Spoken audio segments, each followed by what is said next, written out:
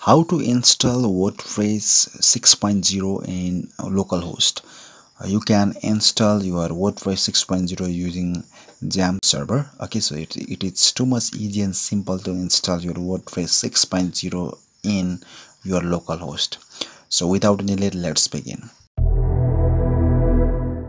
So first of all you have to go in this website and uh, that is wordpress.org slash download I will give the link in the video description you can check that one. And you have to click in the download WordPress 6.0 now you can see here you will uh, get the file. So after that just you have to go in the uh, C drive and just you have to click in the XAMPP. And uh, just you have to go in the htdocs and you have to create a new folder. So I am just giving it okay so uh, WordPress okay and I'm just going here. Okay so just wait for wait for a moment.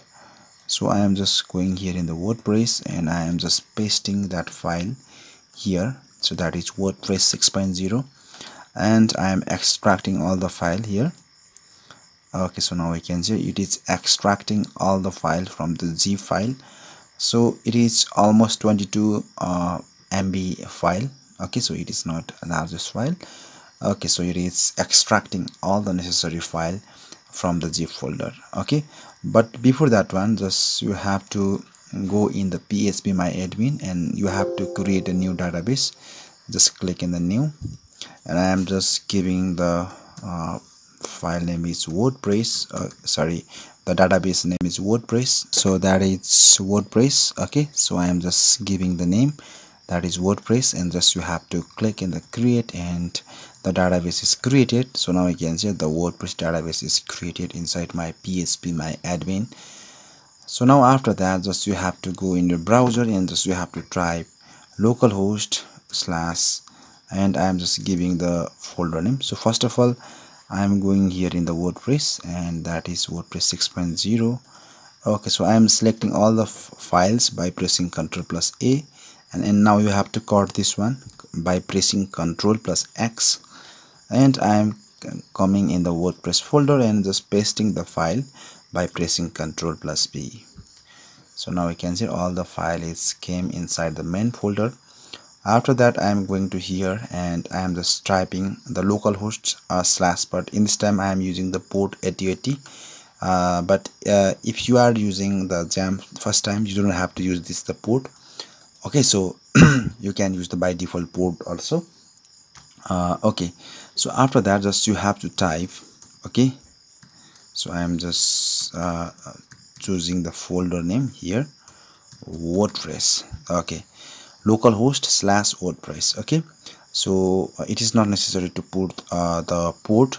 Uh, if you have any uh, issues related with the port you can use the 8080 port. Otherwise it's okay then after that just you have to press enter. Okay guys. So now we can see it is telling me that not found and the request url was not found. It is telling me like that. So for this one maybe i think the folder name was mistake so that's why it is showing this type of the error, eh, error okay? So i am just going to in the folder. So now we can see here this is the mistake. I forgot to type the p here so that's why i'm renaming this one.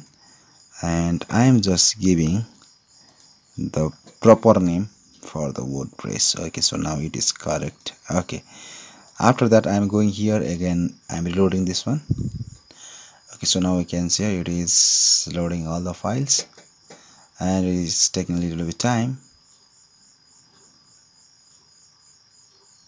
Okay guys so now we can see it is asking me to choose language so i am choosing the english. Otherwise you can choose your favorite language also. Then just click in the continue so now you can see it is uh, uh, asking me to uh, allow few things. The first thing is the database name and the database username database password and the database host okay? And i am just clicking the let's go. So now you can see it is asking me a few things. So the first name is the username okay?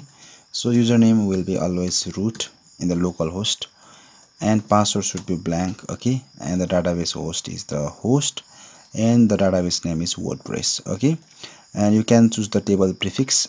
Uh, it's uh, you can make it uh, your uh, the database prefix name also but, uh, but it's okay for me so i'm uh, leaving it by default okay? And just you have to click in the submit and just click in the run run the installation so now we can see it is asking me to put the site title. So i am just typing the demo. Okay uh, so i am just giving the uh, username is admin. And i am just giving the name is admin one two three four five six seven eight. Okay. one two three four five six. And i'm just putting and the rate here. And the rate and dollar. Okay and hatch. Okay. Add rate dollar and one two three four five six. And you can put your email also. Okay.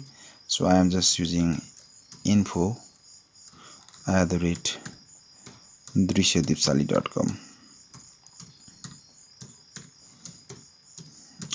okay. Then after that uh, you can uh, use uh, the tick option from here uh, when uh, the, the development uh, process is going on. Okay or you can leave it by default okay? And I am just clicking the install WordPress. Okay so now we can see here my WordPress is installing and it will take a little bit time. It depends on your internet speed and your web server speed. Okay guys so now we can see here it is telling me that the success WordPress has been installed successfully and it is telling me that thank you and the username is, is showing me that admin and just you have to click in the login and now you have to put your username here. That was admin and I am putting admin at the rate 1 2 3 4 5 6 and just click in the login.